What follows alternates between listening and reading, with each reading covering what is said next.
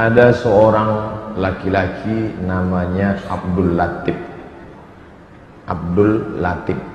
Dan nama yang paling baik adalah nama yang selalu disandingkan dengan Asmaul Husna. Abdul Rahman, Abdul Rahim, Abdul Latif, Abdul Somad.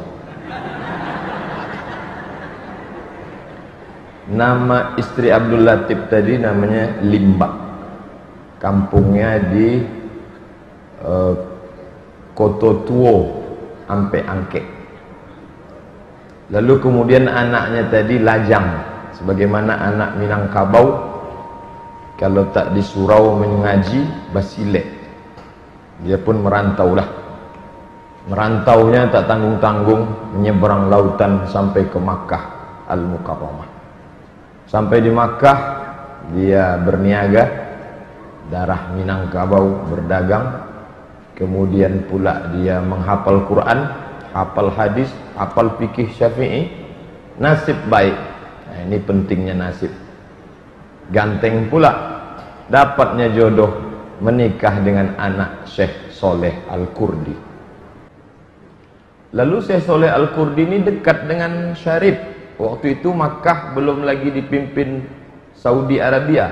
Masih disebut daerah Hijaz. Makkah Madinah otsus otonomi khusus. Otonomi itu daerah punya kekuasaan sendiri. Tak ikut sultan mana-mana. Itu namanya otonomi. Kalau otonomi kita oto diawak mi diorang lalu Makkah Madinah waktu itu dipimpin oleh Syarif yang nasabnya sampai kepada Sayyidina Husain anak Fatimah binti Muhammad sallallahu alaihi wasallam. Dan sultan kita pun alhamdulillah Syarif juga dipangkal namanya. Sultan Syarif Qasim kebetulan Soleh Al-Kurdi dekat dengan Syarif tadi pergi ke istana dibawanya lah menantunya itu sholat. Syarif jadi imam. Karena dalam hadis Al-A'immah min Quraisy imam itu orang Quraisy ketika Syarif jadi imam ditakdirkan Allah salah ayatnya. Selesai solat dibetulkanlah oleh menantu Syekh Soleh Al-Kurdi. Kata dia bacaan tuan imam tadi salah. Dah diluruskan tadi. Oh. terkesanlah hati Syarif berdialog berdialog. Akhirnya karena terpukau dengan ilmunya diangkatnya lah menjadi mufti mazhab syafi'i sekaligus imam. Ditabalkanlah namanya Syekh Ahmad Khatib bin Abdul Latif Al-Mingkabawi. Itulah orang kita yang pernah menjadi imam di Masjidil Haram dan mufti dalam mazhab Syafi'i meninggal tahun 1916. Ustaz tahu dari mana? Internet lah. Mana lagi? Lalu kemudian orang-orang Asia Tenggara yang belajar ke sana karena kedekatan emosional talaki halakoh beliau di Masjidil Haram. Salah satu muridnya itu dari Jawa. Jenenge sopo Hasim Ash'ari. Lalu pulang ke Jombang mendirikan pesantren di Tebu Ireng. Itulah dia Hadratus Syekh Hasim Ash'ari mendirikan ormas namanya Nahdlatul Ulama. Jadi kalau nampak ada kemiripan NU dengan Perti, NU baca kunut subuh, Perti juga. NU doanya jahar bersama, Perti juga. Kok bisa sama? Dari mana hubungannya?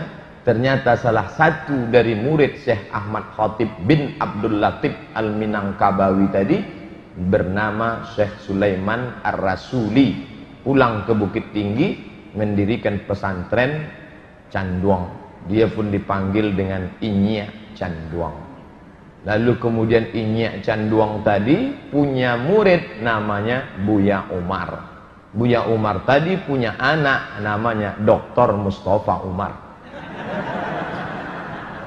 jadi kalau ada yang bingung loh Selama ini tak mau ikut-ikut ormas, kok sekali ini mau? Hebat betul Profesor Alaidin merayunya. Ternyata ada hubungan nasab yang susah dipisahkan. Bukan hanya dari pihak Buya Umar, dari pihak Amma juga.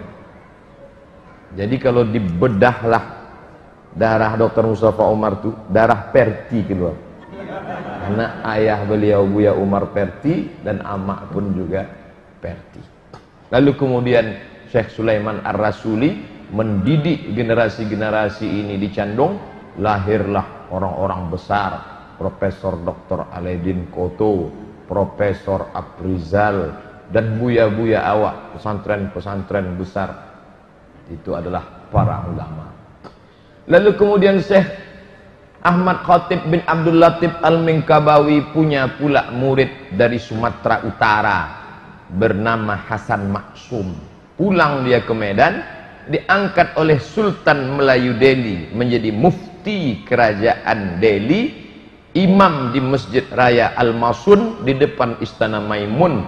Dan dia murid-murid dari Syekh Hasan Maksum ini di antaranya yang menulis buku perbandingan agama Arsyad Talib Lubis mereka mendirikan yang disebut dengan Al-Jam'iyatul Wasliyah.